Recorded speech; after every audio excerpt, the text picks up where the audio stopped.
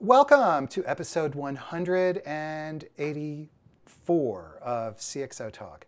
I'm Michael Krigsman, and today we are talking about the future of human capital management and HR technology with Stuart Sackman, who is the CIO and the CTO of one of the largest HR technology companies in the world, ADP.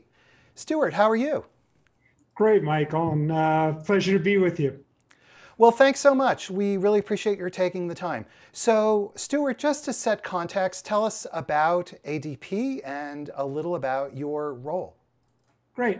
So, uh, you know, as Michael said, uh, my name is Stuart Sackman, and my actual title is uh, Corporate Vice President of what we call Global Products and Technology. And Global Products and Technology encompasses four major areas. Um, our R&D teams, those are the groups that build our client-facing products, and I'll talk a little bit more about ADP in a minute. Uh, so our R&D teams, and then our what we call our infrastructure and operations teams globally. Those are the people that run our data centers and keep our infrastructure up and running. Uh, we also have a centralized product management team. Obviously, they work very closely with our R&D team uh, around product requirements as well as with our clients and our operations team to try to keep track of what's going on in the market. Um, and then the last group is internal systems. So I also run the groups that um, you know are in charge of our financial systems, and of course we use all our own HR, talent, and recruiting products. But uh, I guess I'm I'm responsible for those as well. So that's the scope of my organization.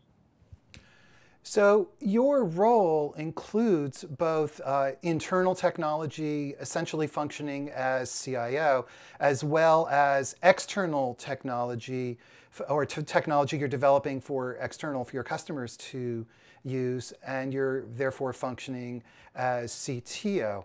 It's an unusual combination, and can you tell us how did what is, what is the, what are the reasons why those roles come together as as they do at ADP? Yeah. So uh, for those that aren't that familiar with uh, ADP, um, as Michael said earlier, we're a global human capital management company, and we do business uh, in over a hundred countries, and we serve virtually every market segment as it relates to human capital management. So we serve very small companies, you know, two or three or four employees, mid-sized companies, large US domestic companies, and the very largest global multinational companies. And 100% of the products and services that we provide are cloud based.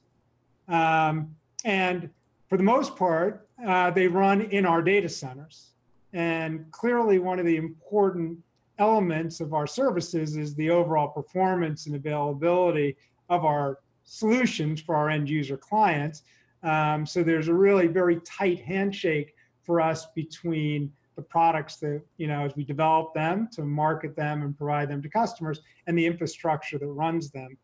And one of the journeys that we've been on recently um, is we've moved our whole R&D force to agile development and we're trying to be you know, as as everyone is in the market with the pace of change in technology, you know, we're trying to be more agile in the way that we develop things, and you know, it's an end-to-end process. So it's if we can develop things faster, we can't deploy them, and our clients can't benefit. So we think it makes sense to have a single leadership for both the again the products, the R&D, the things that we sell, as well as the infrastructure that they run on. So that's the rationale for it. Are there tensions? It's it's an unusual combination. Are there tensions or challenges that come up uh, where these between these two different roles? And the reason I'm asking is because in most companies they really are so different. Even though I realize that at ADP they're they're quite converged. Yeah, so there, there, there is a, there always is a little bit of a, there's always a natural tension, a little bit, I think, between the developers that are out in front and the infrastructure people uh, developers tend to be a little bit more freewheeling. You know, they're out focused on the next features, and you know, the infrastructure people have to run this stuff, and they have to, you know, meet our very high standards for availability and uh, reliability, or a little bit more cautious in their pace. And years ago, they actually we had these two functions separated, and there was a little bit of the over-the-wall kind of uh, behavior inside ADP. We develop it, throw it over the wall, someone else would deploy it. And um, our clients suffered in that because we had, you know, we had more outages and, you know, lower performance. So again, one of the rationales for bringing these things together was to, you know, close that seam organizationally. Now, now I wouldn't say, Michael, that it's perfect, uh, but it's significantly better, and we do have a really good partnership. Um, you know, I'm sure you're familiar. So much has been written around DevOps and the things that are going on to simplify deployment, and um, you know, we have a lot of those practices. Uh, you know, we're trying to use containers and newer technologies uh, to simplify our deployment. I guess it enables the agility we need to meet the, you know, the, the changing market trends. So I feel good about where we are today. And I, to be honest, it wasn't always perfect, but it feels pretty good today. You mentioned that you're 100% cloud-based, and I don't think people realize that ADP was was genuinely one of the the pioneers of the cloud. Yeah, we, you know, not a lot of people uh, know, you know, know the history of the company. i am uh, 24 years with ADP. I'm a little bit of the historian. I'll just spend a second with you because we created the outsourced payroll industry. And in many ways, we created the one-to-many business model. And as you know, the one-to-many business model is the foundation for cloud services. That's one of the big benefits, you know, as opposed to having running stuff on premise that's customized, you know, where you have to fight upgrades you know the cloud offers the the benefits of you know new features come to market faster um, but it also you know you share that with other people one to many and you know the company was founded in 1949 even back in 1949 before computers existed we had a one to many business model the difference was it was a team of bookkeepers and we'd go get you know timesheets from companies and we'd have a single team you know write their paychecks and then send them back out uh, we've navigated, literally navigated every uh, technology. You know, we've navigated all the technology changes. We were very early users of IBM computers. Um, still a big user of IBM computers. And then, you know, when client server and batch processing and modems came around, we started to push technology out into our clients and we connected via modems. And then as the internet evolved, you know, we moved everything to our cloud. And uh, you know, we think we're the biggest business to business cloud uh, HCM provider, 600,000 clients globally. Um, and yes, absolutely, all of our applications are delivered over the cloud today. We have a question from Twitter. Arsalan Khan is wondering about your the impact that your uh, previous uh, background as a management consultant has had on what you do today. Yeah, so my uh, so my background is uh, I was a management consultant in technology. Uh, prior to that, I actually worked for a startup in the '80s and the first technology boom in Silicon Valley. Um, but but consulting is a good is good um, is good training for business because it gives you the opportunity to see lots of business problems, uh, work across lots of companies, uh, trains you in communication and you know, trains you in analytics and problem solving. And um, I think I carry those skills forward as we think about the evolving landscape of technology, especially as it relates to human capital. You know, those skills around analysis and strategy and thinking are helpful. And I think it helps me direct my teams better and keeps us forward looking as far as, um, you know, what we work on and uh, how we try to drive the HCM market forward.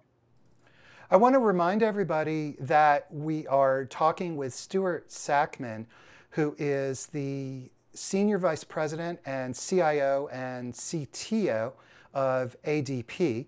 And while we're doing this, while this video is going on, there is a live tweet chat with the hashtag CXOTalk. And so feel free to tweet your questions using that hashtag CXOTalk to Stuart Sackman. Stuart, you are in the unique position of not only being able to observe changes in HCM and HCM technology across a, a range of uh, different market segments, large and small, as you said earlier, but you are also shaping that future. And so please share with us your observations on what's going on with HCM and HCM technology today. Yeah, so it's a it's a actually a really exciting time to be in the human capital management uh, business, and uh, exciting for lots of reasons. Uh, the rate of technology change and how technology is being applied to HCM is exciting, and also as companies broadly around the economy, uh, as technology plays a bigger role. Um, you know, they're out there trying to recruit new talent and engage their workforces, and the tools that we develop, we believe, help them do that. So it's exciting on lots of fronts. Um, but there's but there's some I think some you know there's some trends that are well proven, like the move to the cloud. One of the things that we think is going on is we think the um, you know, there's been a lot of work done in user experience, and people have written a lot about the consumerization of IT. Uh, we think maybe the next, uh, we think the next big trend in human capital management is what we call a conversational user interface. So we believe that over time, HCM, human capital management solutions, will be like automated assistants, and the interface will be more conversational. So today, when you use a you know traditional human capital system, you know you log on somewhere and you navigate somewhere and you go, who are people, and you search people, who are my high performers.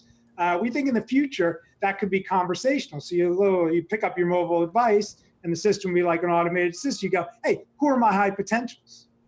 And the system would return it back to you. Or um, and that the systems would use machine learning to help actually make your life easier, which is the end value, you know, one of the big benefits of systems. So, you know, the system might remind you like, hey, your time card is due. Um, or I know you worked a regular week this week. Would you like me to submit your standard hours for you?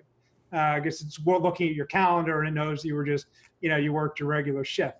So we think this change to conversational user interface and this idea of more push where there's more notification and conversation with our systems than today's what we describe as pull, where you, again you navigate some menu system and you go down and get the information you need.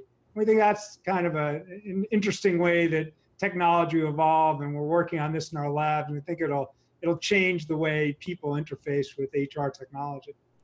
So these com these conversational uh, user interfaces, as you're describing, so it's a combination of rethinking the user experience backed up by machine learning to interpret the data that the system is collecting. Is, is that's correct? Yeah. So you can think about, you know, you can think about, and, and, and this is starting, you're starting to see this in the market today, but you can think about the HR system becoming a bot sort of in the background that's monitoring your patterns of behavior and work, as well as on call for you to ask it questions. Um, and you know, like a good use, like an example might be, you know, it's looking at your calendar and says, "Oh, Stuart, I see you're going to be in California. Uh, you know, you're visiting your office in California. You have some meetings. Uh, did you know that you have two high potential um, people there, associates there, that are at high risk of leaving ADP?" because I'll, I'll, talk a little bit more about our predictive analytics. We have a lot of, you know, we're focused also on big data. So we have these predictive analytics around flight risk. So the bot might say, while you're there, you have these two high potential associates, they're flight risk. Maybe you should consider meeting them for breakfast or lunch and talking to them about career opportunities at ADP because, you know, clearly you want to retain them. And, and today that's really hard to do because you know, when my when my admin sets up my appointment, she doesn't know what's going on. She's not searching the HR database. And if it's not top of mind for me, that's something I might miss. That's an example of how the bot would be both interactive and you know, you know, using machine learning. That as it sees my pattern, and says, "Hey, Stuart loves to have lunch with associates and skip level meetings." Then it would learn that, and as I do other traveling, it would continue to, um, you know, build on that and help me establish those connections within the organization. As you are talking with your customers, what are the kind of expectations that customers, how are, how are customer expectations changing? I'm assuming that, that these technology developments you're describing are in response to, to the customer, to, to customer expectations and what they, what they want from you. Yeah, so I do spend um, I spend a lot of time uh, with our clients. Uh, prior to this role, I ran our global multinational business, where I uh, spent the majority of my time dealing with uh, you know our largest global clients. And you know, one of their challenges, and the challenges of HR that's been around, you know, forever, is that there's lots of information in these systems, but it's hard for people to get the value out because they're busy with their regular jobs and you know they don't show up and work every day necessarily thinking about what HCM activities or transactions I need to do. So um, we need to make the applications easier. And that's where the push versus pull comes in. So we're notifying them, and we need the machines to do more of the heavy lifting around understanding patterns of work and helping, you know, push data to whether it's managers or practitioners or employees, push information to them at the right time so they can take the right actions to keep them engaged in the company. So another area that we're heavily focused on is, um, you know, kind of what we call the study of behavioral economics. So we're looking at how, you know, we're trying to study behaviors and how people behave, and we're trying to redesign our systems around the way people really work, not the way we want them to work. You know, we want everyone to be perfect and engaged and, you know, on time and, uh, you know, do all their HR, you know, clean their room and do all the things they're supposed to do. Um, but the truth is they're busy. So uh, we're studying behavioral economics and we're trying to find lower friction ways to help bring value to our clients that are less disruptive. So again, just so that people complete them so we developed something that we call, uh, we developed an application we called uh, Leader Compass. And we actually you tested it internally inside ADP with our 56,000 global associates. Uh, and it's all email based. So it's an incredibly light application. There's no registration, no passwords. You don't have to do anything. We start, we send an email, and we, we start, the first email is confirm who your manager is. And then you just type reply with your manager's name. And from that, we reassemble the org chart for the company. So again, in HR systems, if the practitioners aren't keeping track, people do move around, especially in big and mid-sized companies, and sometimes just the org chart gets out of date. So we assemble that with, again, no systems install. We assemble that just through email. And then the next thing we did is we did a, a short 12 question survey, like a 360 for your leader with 12 questions. And then we assembled the results and we were able to provide them back. Again, no login, no work, you know, and we got like 96% participation because it took, you know, 10 minutes to fill out the survey. And then we assemble the results and we distribute them back to the leaders and we show them on a bell curve how their relative score compares to the rest of the ADP organization. And then we have an automated coach in the background. So as we identify their you know there's their opportunities you know based on the feedback you know we register them for coaching and we have a we call it adp coach and it sends very brief targeted emails on those specific topics that the leader compass showed that people needed development and again we get incredibly high click-through rates on the coaching because they're short. You know we don't know if people we can't guarantee that everyone's reading it and internalizing it. We know they're at least opening the emails and reading them. And you know, just that simple thing, no installs, no logins, no work, you have a leadership development tool, basically. And that's where, again, where we think the world is going because today's systems are just still too heavy, too hard to use, navigate, and all the rest. So, with your scale, and I should ask you, uh, can you give us a, a sense of how many people actually use your systems? Yeah, so I think uh, it's roughly third. I think uh, roughly 30 million people worldwide use our systems um, in one form or another. Uh, we pay one in six people in the U.S., um, so that's obviously a big population. Um, the majority of our large and mid-sized clients, um, you know, use us for payroll as well as HR uh, and and the talent suite. Um, and we're in business in, uh, I think I said earlier, in 100 countries uh, globally.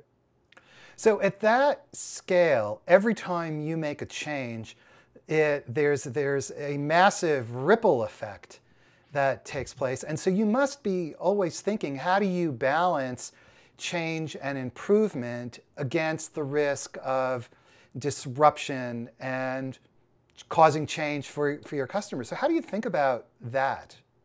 Yeah, really good question. So we do have multiple systems because we do have different products that serve small business and different products that serve mid-sized domestic and large domestic and global. We have individual country solutions in some of the countries where we do business. So when we make one change, it's typically not affecting all 30 million.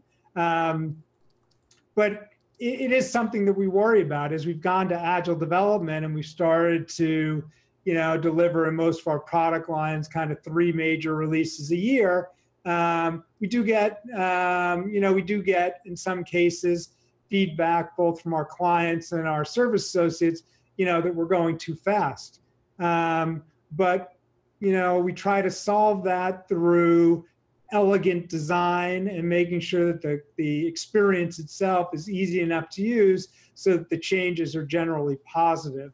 Um, the other area that's you know that that's also a challenge for us is we have a big service organization and they need to stay obviously well trained and versant on our current solutions as well. So that's another area that we spend a lot of time on. So um, yeah it's a challenging problem but uh, you know the market for hcm there's i think there's two or three thousand startups that we compete with and they move incredibly quickly. So um, we have to stay agile to survive and to continue to compete and win. And I think we're doing a good job.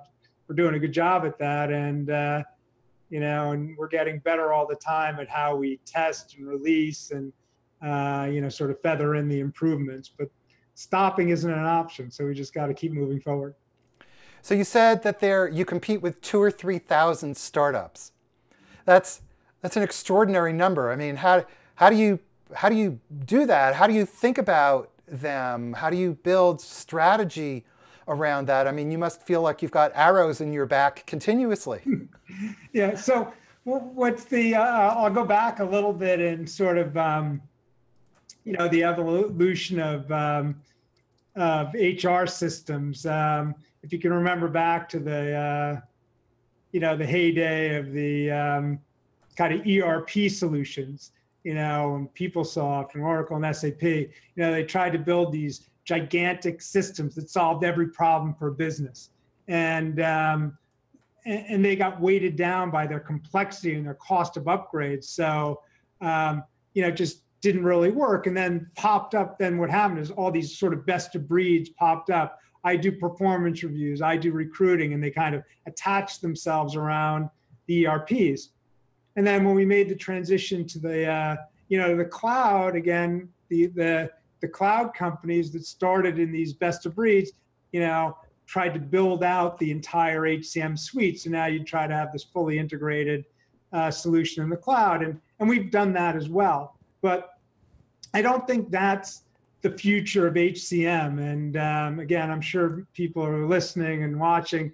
You know, have read a lot about sort of the API economy and what's happening around APIs and how systems talk to each other. But our strategy for competing is not to try to do everything. So we have a solution we call the ADP Marketplace, and we publish all our APIs in the marketplace, and then we encourage you know companies some of these 3000 they might compete with us in recruiting or in a specific pillar of talent management you know or in time and attendance and benefits we actually you know, we try to recruit them to participate in our marketplace um, and use our APIs to connect to us because we can't stop the progress of our clients. So, you know, we have a great performance system that ADP offers, but some companies like GE are dropping annual performance reviews and they want to do check ins. Well, we may not have, we don't have that capability today, and we might not have it immediately. So we want to have a partner in our marketplace. So if you change the dynamic the way you want to do a performance or recruiting, you can go to the marketplace and get a partner that's integrated. So the way we compete is we try to co-opt them in a this co-opetition thing. We think our scale and our capabilities, our system of record is tremendously valuable. And you know, over time, we may or may not have solutions that compete in some of these pillars, but I don't think that there's, you know, this fully integrated HCM suite is going to be the future. It's going to be a core HR with some specialized solutions that will differ broadly by clients. Because what the clients tell me is, hey, we want our solutions personalized around our needs. We don't want to, you know, just use your out of the box. We like portions of it, but other portions we want to get from elsewhere, and we want to enable that.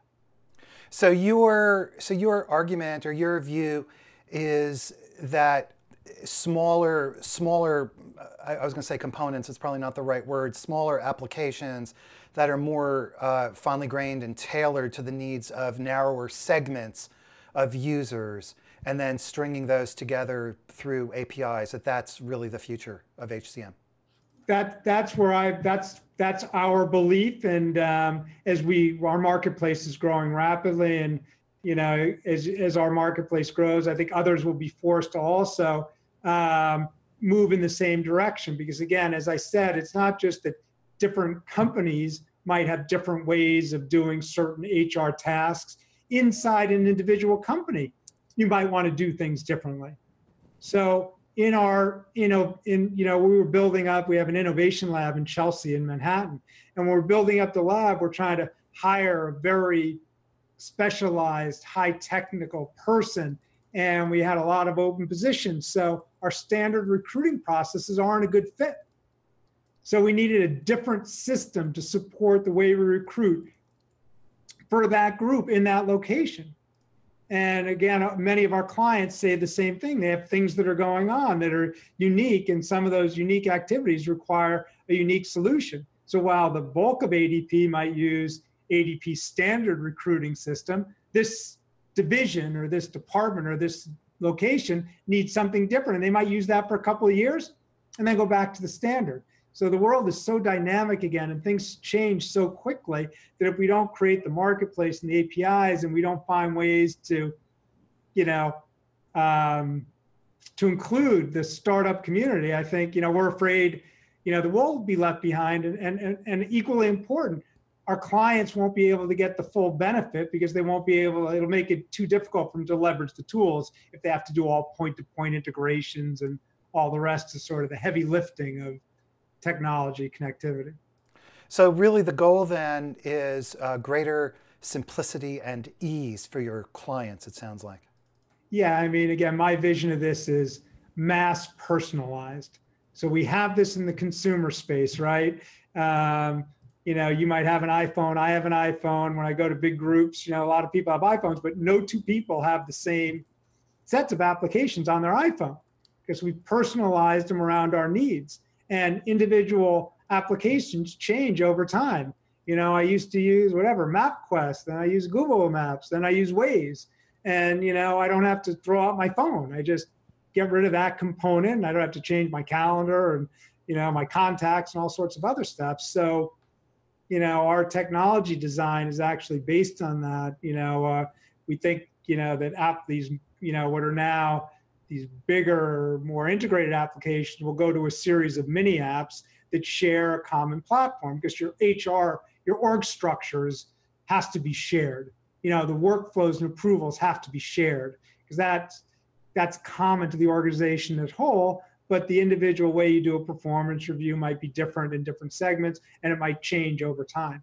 So we think, you know, this platform common set of capabilities with mini, what we call mini apps or, you know, smaller applications for discrete tasks is the way the world's going. And it's so consistent with the consumer experience that, you know, we think it'll be a very comfortable thing for our clients, especially as millennials become a bigger part of the workforce.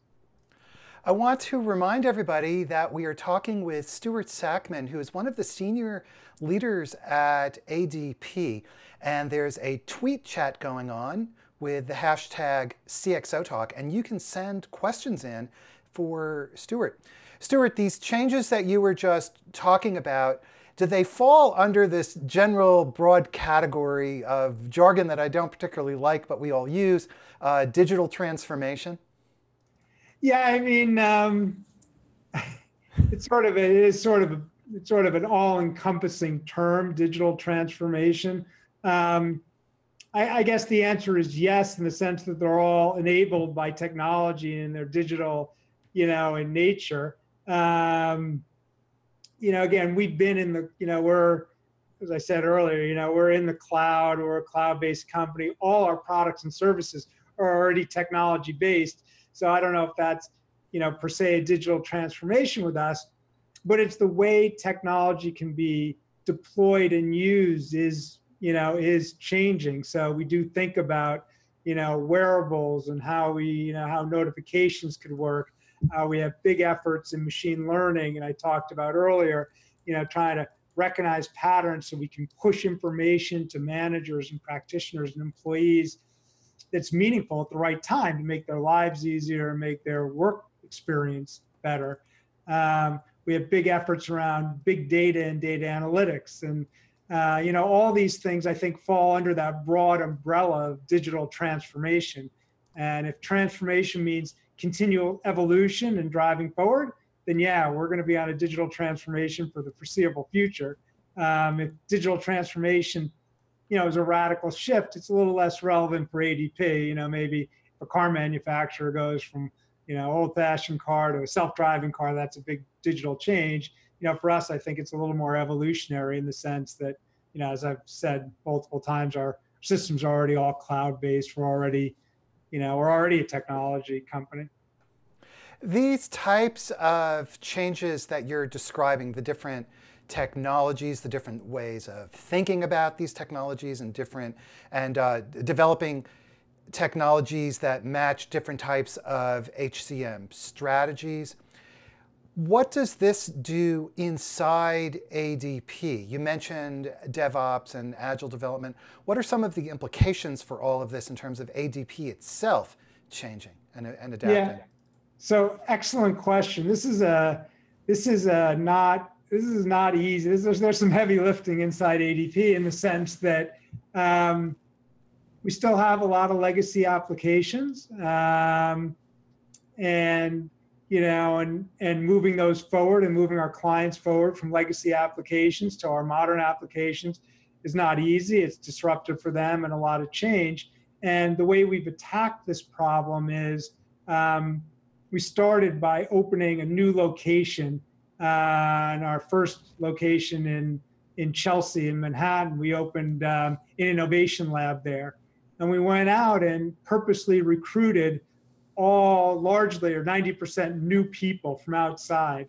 Um, and we went to Chelsea because it's um, you know, sometimes referred to, I guess, as like Silicon Alley. It's you know close to the ad agencies, and we think it's the it's a good. so there's a wealth of design capability to help us think through the user experience. And then we went through and recruited a lot of new talent into ADP that was could help us, you know, help us think about how technology works and help us guide the future. And we've expanded that. We have a lab on the West Coast. We have one in Atlanta. So we use these labs to help kind of spark the thinking and um, help us, you know, with the with the vision. And then uh, we have converted, as I said earlier, our whole R&D organization. I think we have 5,000 developers around the world. We're 100% agile. So then we take the ideas and the designs uh, and the, that we create in the labs, and then we permeate that throughout the whole organization. Um, and then the other thing I would add is our CEO uh, is in his fifth year in the job. He really set innovation out as a critical element for us. The whole organization sort of is aligned behind this idea of innovation, and he created, you know, both the strategy as well as the funding to help us move our teams forward. So, uh, but it's a journey, like everything. It is a journey. You mentioned uh, working with uh, startups, and you've been talking about the innovation lab. So, can you talk, uh, describe a little bit more in depth this focus on innovation and how does such a large company ensure that innovation takes place on a constant, relentless, nonstop basis? Yeah, again, I, it's a it's an excellent question, and uh, you know, the, the, there's not really a magic wand for this, but we've done is we've reserved a significant portion of our total investment in development. Uh, so, you know, roughly almost a quarter of our of our R&D investment we have on future stuff. Future stuff being tomorrow's solutions or you know like sometimes i like to say horizon 2 solutions and horizon 3 solutions. So we reserve a significant amount of our budget with that for that and then we you know we try to recruit the talent that can help think through and build those and then we leverage our global knowledge, our deep functional knowledge, and our our knowledge about global compliance to understand and our, our large client base to you know try to get a pulse of what the needs are around our clients and and what they're struggling with um, and then you know we experiment. So you know i mentioned earlier leader compass but you know we had this idea that we needed a lighter approach to help develop leaders. Uh, there's been lots of research done that suggests that you know frontline managers are the most important people in any organization. Because they direct the troops makes perfect sense right? They direct the troops and almost everything is highly a lot of things like associate engagement and associate productivity and um, associate satisfaction are tightly linked to the quality of their manager. So we said that's a problem all of our clients have and uh, but we need a way to measure their um, you know their skills and their opportunities for development in an easier way uh, in a lighter touch way and then we need a way to help our clients develop them and that's how we came up with this idea for Leader Compass based on behavioral economics. And I described it earlier where we have these really light touch surveys and we get the responses. And then we have the coach that based on the feedback that you got as an individual for you as a, a leader, we could direct coaching to you. And uh, we're going to roll this out more broadly. And we believe that as we as we roll it out more broadly, we'll learn so much about um, what it takes to coach and develop managers because we can run these surveys because it's so light and easy. You know, we're going to run them internally twice a year. Eventually, we might run them quarterly, and we'll be able to track the progress and then look at the coaching and see if the coaching is actually working and helping make managers more effective. And uh, we'll, as we roll this out to our clients, we'll get more data uh, holistically across the broad spectrum of clients that we serve. And we think we'll have even more insights. And you know you know our hope is that we can bring these insights and knowledge to our clients to help them be more effective in managing their human capital. That's really our that's our strategy. If you see our tagline is a more human resource you know we really want to help our clients be more effective at managing their people so that they can be more effective in their individual businesses about driving business success and business results.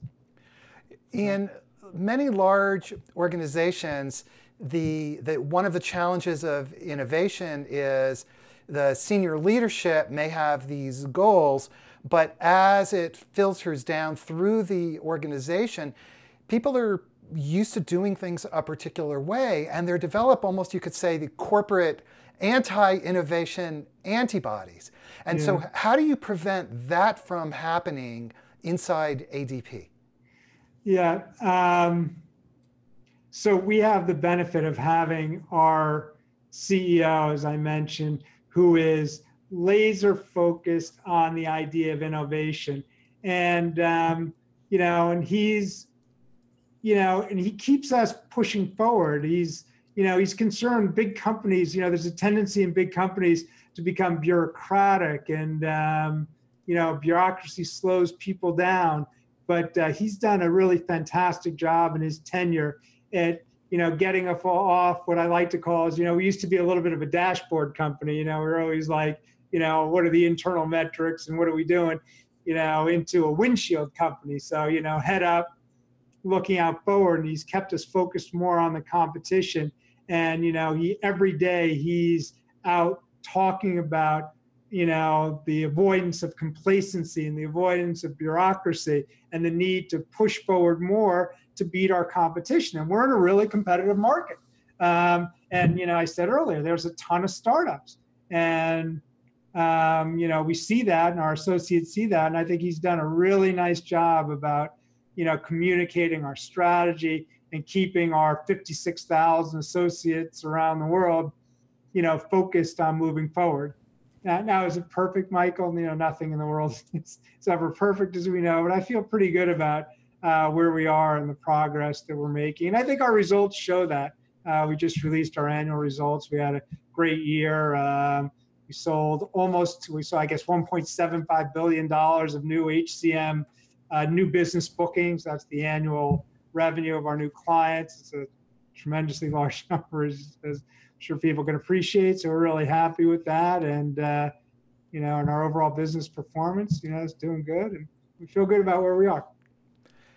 Stuart, we have just five minutes left, and we have a question from Twitter. Connie Woodson asks, how do you manage, how do you safely manage to document payroll, cloud-based payroll information, which I guess is part of the larger issue of safety in the cloud, especially at your scale and with the type of confidential information. So maybe can you talk about that issue and relatively briefly, because again, we only have a few minutes left. Yeah, I mean, there's two aspects to payroll globally that are really hard.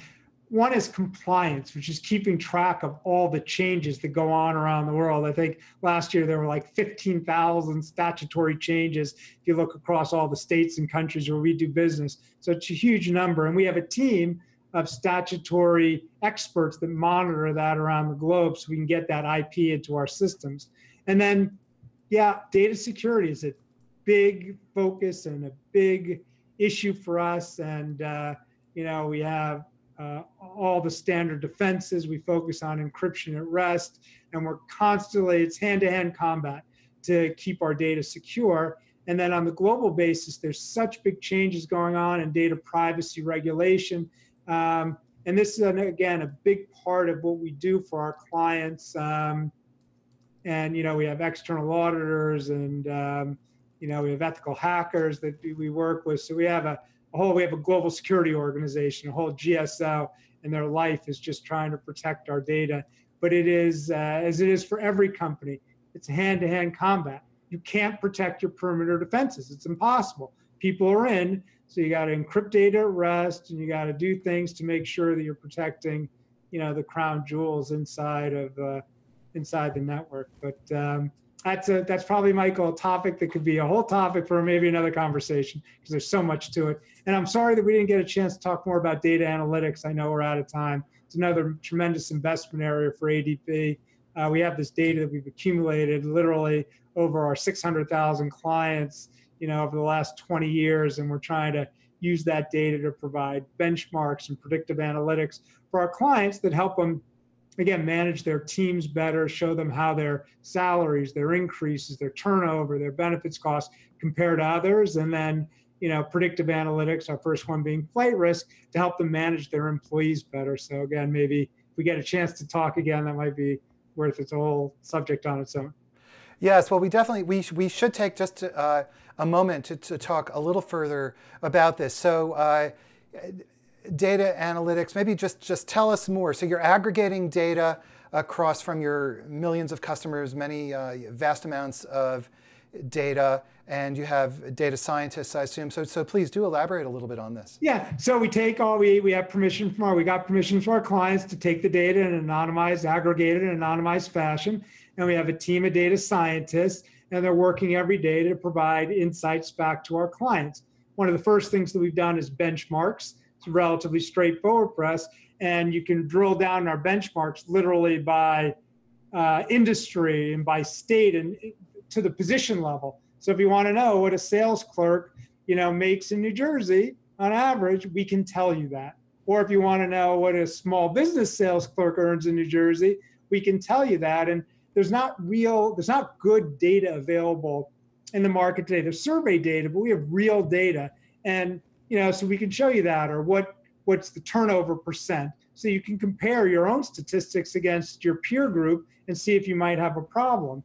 Or, you know, what's the annual increase? You're trying to set your, you know, the pool for an increase year over year. What are other companies doing so you can stay competitive in pay? So we have all the benchmarks and then that, that that's the first thing we did. And the next thing we're doing is try to drive and develop predictive analytics. Uh, you know, I mentioned flight risk a few times, and then you know we could show you things like you know who's a good performer that's high flight risk, so you can take some action. And we're taking these metrics now and the benchmarks, and we're embedding them in the workflows so that at the right time. So if you're you know, I use the example of visiting another location.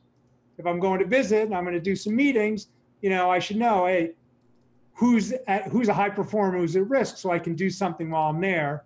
Because not every business shows up every day and you know say, oh, let me run some analytics, you know, let me see what's going on. So we try to embed them in the workflows. If you're doing a hire, you know, we tell you what the relative salaries are at that time, or when you open a new position, what the relative salaries are. So again, we're just trying to help our clients be more effective and leverage the you know aggregated and anonymized data that we have. And how important do you think this is going to be for your business um, moving forward? What kind of investments are you actually making? Yeah, we're making it's uh, it's one of you know when I mentioned uh, you know spending you know up to a quarter of our budget in, in innovation. This is part of that, and I think it's critically important that yeah, I mean, I know you read, you know, you you follow technology closely. I'm sure a lot of listeners. Big data is on the top of everyone's mind, and you know, the nice thing about ADP is, as we like to say, in order to deliver big data, you actually have to have big data, and we have big data because we have the big, you know, we have the 600,000 clients globally, and our average client our average client tenure, I think our retention this year was 90%. So our average client life is like 10 years and we've been in the cloud forever. So we literally have, you know, years of historical data um, as well as the sum of the aggregated data. And it's actually really cool because as we try to create predictive analytics, we're able to go back in time. So we go back to the, you know, what the client looked like. So go, oh, Stuart's at risk of turnover. And then you know, we run the metrics on ADP five years ago. We said, oh, these people are risk of turnover. And then we follow them forward in time and we can see if they actually leave or not. So we could see the, um, you know, sort of the effectiveness of our, the predictability of our metrics. Well, pretty interesting stuff. We have been talking on episode number 184 of CXO Talk with Stuart Sackman, who is one of the executives of ADP. Stuart, thank you again for taking time today to speak with us. Really appreciate it, Michael. It was a great conversation. Thanks for having me, and I hope uh, hope uh, we got some tweets and we get some.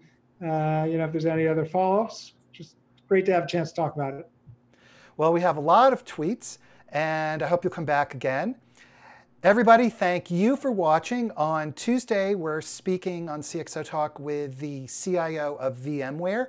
And a week from today, next Friday, we're speaking with the CEO of Dale Carnegie. And so that'll be interesting. So, everybody, thanks so much and have a great week. Bye bye.